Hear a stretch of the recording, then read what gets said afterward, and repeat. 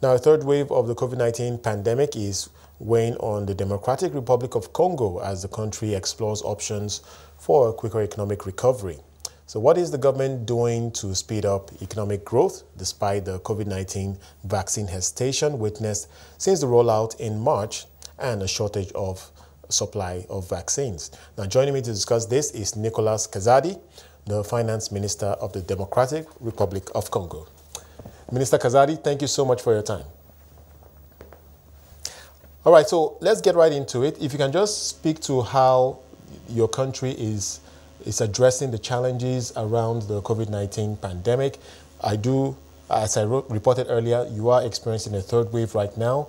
We saw the contraction in, in GDP last year. Now, many are forecasting a recovery, but can you just talk us through how that is working out for you this year? We are doing very well. We are above the average of the continent. Last year, we had 1.7% of GDP growth while the world continent had an average of minus 3.2. And this year, we are expecting a robust growth with 4.9% and 5.6% for next year.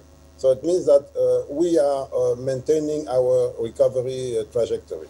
All right, Minister. On the COVID itself. Yes, yes, go ahead. On the COVID, yes, on the COVID itself, the situation is, is also under control because uh, we have one almost close to 100 million people in our country, but only 1,050 people dead and around 50,000 people infected so far since last year. It means that the situation is under control.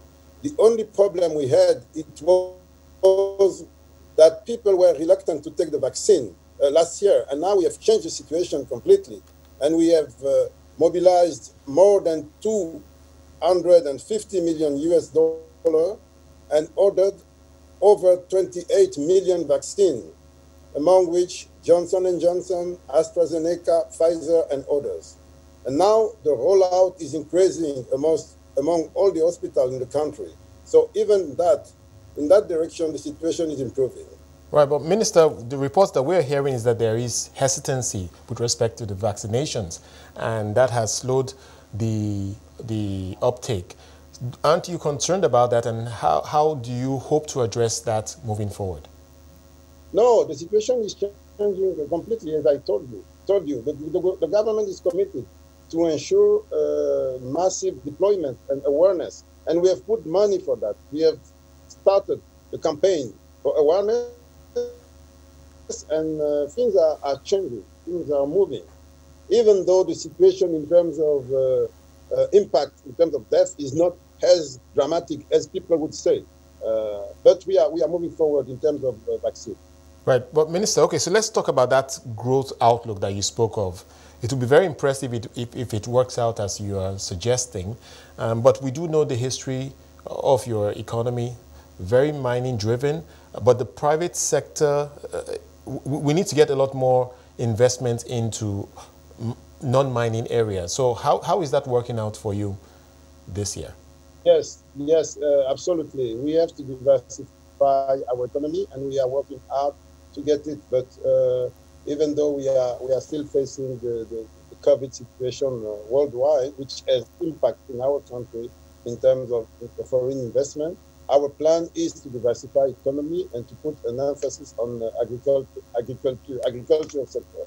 But uh, as you know, uh, in the context of COVID uh, recovery strategy at the world level, we will get some funding from the, the, the IMF, you know, the SDR, and some part of that funding will be put in a kind of investment fund uh, with the aim to diversify the economy. And this investment fund will be managed with the private sector and including the mining sector to have them committed to diversify the economy. Right. I was just going to get to your finances. You did just mention the IMF um, deal, and hopefully that would support that diversification, diversification strategy. But I do also have um, read of reports of support from the United States specifically, um, providing about $1.6 billion in financial support.